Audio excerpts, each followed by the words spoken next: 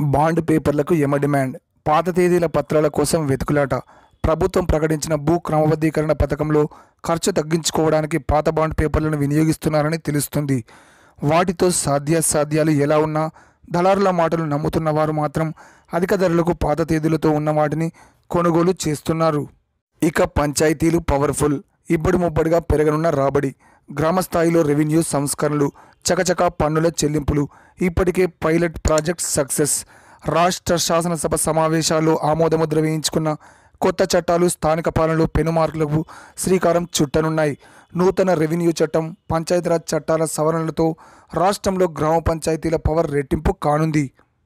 నా వయసు యాభై ఎనిమిది కరోనా దెబ్బకు కొత్త పింఛన్లకు బ్రేక్. గత ఏప్రిల్ నుంచి యాభై ఏడేళ్ళ వయసు వారికి కూడా పింఛనిస్తామని సర్కార్ ప్రకటన. కరోనాతో వాయిదా వేసిన ప్రభుత్వం. కొత్త వారితో నెలకు ఒక వంద ముప్పై మూడు పాయింట్ నాలుగు ఐదు కోట్ల భారం. నడ్డి విరుస్తున్న వడ్డీ పార్లమెంట్లో చర్చించాలి రాయితీలు ఇవ్వాలి. కరోనాతో ఆరు నెలలు మారటోరియం రాయితీ లభిస్తుందని రుణగ్రహీతల సంబరం.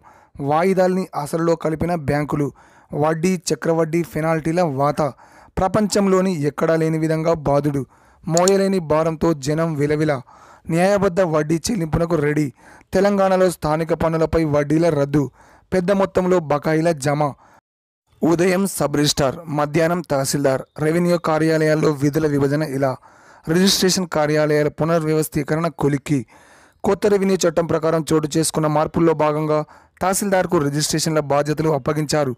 దీంతో ఒకే కార్యాలయంలో రెండు రకాల సేవలు అందుబాటులోకి వచ్చాయి.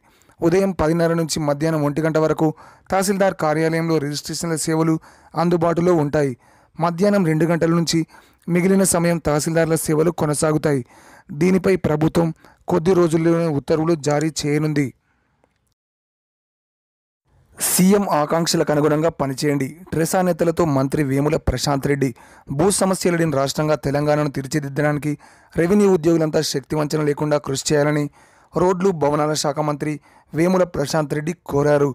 నూతన రెవెన్యూ చట్టంతో రైతుల జీవితాల్లో మార్పు రావాలని సీఎం కోరుకుంటున్నారని ఆ దిశగా రెవెన్యూ ఉద్యోగుల పనితీరు ఉండాలని సూచించారు. ఆదివారం మంత్రిని ట్రెసా అధ్యక్ష ప్రధాన కార్యదర్శులు రవీందర్ రెడ్డి గౌతమ్ కుమార్ నేతృత్వంలోని ప్రతినిధులు కలిశారు. కొత్తగా రిజిస్ట్రేషన్ బాధ్యతలు అప్పగించినందుకు మరింత పారదర్శకంగా సేవలందించాలని మంత్రి కోరారు. టీచర్కు లాయర్కు తప్పని వేధింపులు. మహిళను వేధించే వారిపై కఠిన చర్యలు. రాచకొండ సిటీఎంస్ ఇన్ఛార్జ్ అదనపు డీసీపీ షేక్ సలీమా. సమాజంలో గౌరవప్రదమైన ఒత్తుల్లో కొనసాగుతున్న వారికి కూడా వేధింపులు తప్పడం లేదు. పీఎంఓ డిప్యూటీ సెక్రటరీగా ఆమ్రపాలి. ప్రధానమంత్రి కార్యాలయ డిప్యూటీ సెక్రటరీగా ఐఏఎస్ అధికారిని ఆమ్రపాలి కాటా నియమితులయ్యారు. మూడేళ్ళ పాటు ఈమె ఈ పదవిలో కొనసాగనున్నారు. సీఎంఓ ట్విట్టర్ ఎట్ పది లక్షలు. తెలంగాణ ముఖ్యమంత్రి కార్యాలయ అధికారిక ట్విట్టర్ ఖాతాను అనుసరిస్తున్న వారి సంఖ్య ఆదివారం నాటికి పది లక్షలకు చేరుకుంది.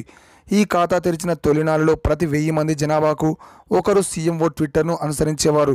ప్రస్తుతం ఆ సంఖ్య పది లక్షలకు చేరుకుని దేశవ్యాప్తంగా సీఎంఓ అధికృత ఖాతాల్లో అగ్రగామిగా నిలిచింది. సీఎం కేసీఆర్ దైనందిన అధికారిక కార్యక్రమాలకు సంబంధించిన సమాచారం ఫోటోలు వీడియోలు పత్రికా ప్రకటనలు ట్విట్టర్ వేదికగా ఎప్పటికప్పుడు అప్లోడ్ చేస్తున్నారు. ఓవర్ యాక్షన్తోనే ఉద్యోగాలు పోయాయి. ఫీల్డ్ అసిస్టెంట్లతో మంత్రి ఎర్రబెల్లి. ఫీల్డ్ అసిస్టెంట్ల ఓవర్ యాక్షన్ వల్లే ఉద్యోగాలు పోయాయని పంచాయతీరాజ్ గ్రామీణాభివృద్ధి శాఖ మంత్రి ఎర్రబెల్లి దయాకరావు అన్నారు. ఆదివారం పలు గ్రామాలకు చెందిన సుమారు నూట యాభై మంది ఫీల్డ్ అసిస్టెంట్లు వరంగల్ జిల్లా పర్వతగిరిలోని మంత్రి నివాసంలో ఎర్రబెల్లిని కలిశారు. ప్రభుత్వ ఉద్యోగాలను తొలగించడంలో తీవ్ర ఇబ్బందులు పడుతున్నామని పలు కారణాలతో రాష్ట్ర వ్యాప్తంగా సుమారు పదమూడు మంది ఫీల్డ్ అసిస్టెంట్లు మృతి చెందారని తెలిపారు. వెంటనే తమను విధుల్లోకి తీసుకోవాలని కోరారు. ఈ సందర్భంగా మంత్రి ఎర్రబెల్లి వారిపై ఆగ్రహం వ్యక్తం చేశారు. పెళ్ళికి కూడా సెలవు తీసుకొని ఐఏఎస్ కోవిడ్ నైన్టీన్ విధుల్లో ఆ డిప్యూటేషన్ కమిషనర్ బిజీ వరుడి పూణే నుంచి అస్సాం వెళ్ళి పెళ్ళి చేసుకున్న వైనం వధువు కీర్తి స్వస్థలం హైదరాబాద్. ఆన్లైన్ తరగతులపై ఫీడ్బ్యాక్ విద్యార్థుల నుంచి వర్క్షీట్ల సేకరణ ఉపాధ్యాయులకు విద్యార్థులకు ప్రయోజనం విద్యాశాఖ మంత్రి సబితా ఇంద్రారెడ్డి. మా శిక్షణ తేదీని ప్రకటించండి. టీఎస్ఎస్పీ కేడెట్ల డిమాండ్. తక్షణమే శిక్షణ తేదీని ప్రకటించాలని Telangana state special police TSSP constable ఉద్యోగాలకు ఎంపికైన అభ్యర్థులు డిమాండ్ చేశారు. రెండు వేల పద్దెనిమిది మేలో జారీ చేసిన నోటిఫికేషన్లో నాలుగు వేల రెండు వందల మూడు ఉద్యోగాలకు ఎంపికయ్యామని గుర్తు చేశారు. సివిల్ ఏఆర్ విభాగాలకు శిక్షణకు పంపించారని తమ శిక్షణ తేదీని ప్రకటించేలా ప్రభుత్వంపై ఒత్తిడి తేవాలంటూ సిఎల్పి నేత బట్టి విక్రమార్కకు ఆదివారం వినతిపత్రం అందజేశారు. నగేష్ అద్దె ఇంట్లో సీసీ కెమెరాలపై ఏసీబీ నజర్. పలువురు అధికారులు వచ్చినట్లుగా గుర్తింపు. వారిని కూడా విచారించనున్న ఏసీబీ. నేటి నుంచి పాలిసెట్ సర్టిఫికెట్ల పరిశీలన పద్నాలుగు నుంచి పద్దెనిమిది వరకు. Ramanthapur polytechnic college principal. పాలిసెట్లో అర్హత సాధించిన విద్యార్థులకు సోమవారం నుంచి ఈ నెల పద్దెనిమిది వరకు సర్టిఫికెట్ల పరిశీలన జరగనున్నారు. చాక్ పీస్ పట్టాల్సిన చేతుల్లో చీపుర్లు పారిశుద్ధ్య కార్మికులు లేక బడులను శుభ్రం చేసుకుంటున్న టీచర్లు స్థానిక సంస్థలు పారిశుద్ధ్య పనులు చేస్తాయంటూ ఉత్తర్వులు. ఇచ్చి వదిలేసిన విద్యాశాఖ గ్రామాల్లో పంచాయతీలు పట్టణాల్లో మున్సిపాలిటీలు పట్టించుకొని వైనం. తొలగించిన పారిశుద్ధ్య కార్మికులను వెంటనే నియమించాలని ఉపాధ్యాయ సంఘాల డిమాండ్. ఆర్డీఏ కార్యాలయానికి వెళ్ళకుండానే డ్రైవింగ్ లైసెన్స్ పునరుద్ధరణ చిరునామాను మార్చుకోవచ్చు. ఇల్లు మారితే డ్రైవింగ్ లైసెన్స్లో చిరునామాను మార్చడం ఇప్పటి వరకు ఓ భారీ ప్రక్రియగా ఉండేది. ఆన్లైన్లో స్లాట్ బుక్ చేసుకోవడం నిర్ణీత తేదీ సమయానికి దగ్గరలోని ఆర్టీఏ కార్యాలయానికి వెళ్ళడం అక్కడ దళారుల బేరసారాలు చివరికి ఫోటో దిగి డిజిటల్ సంతకం పెట్టడం నీట్ ప్రశాంతం తొంభై నాలుగు శాతం హాజరు. ఈజీగా పేపర్ తొంభై తొమ్మిది శాతం ప్రశ్నలు ఎన్సీఆర్టీ బుక్స్ నుంచే. ఈసారి అర్హత మార్కులు నూట యాభై వరకు పెరిగే అవకాశం. ఐదు వందల మార్కులు వస్తే ఎక్కడో ఒకచోట సీట్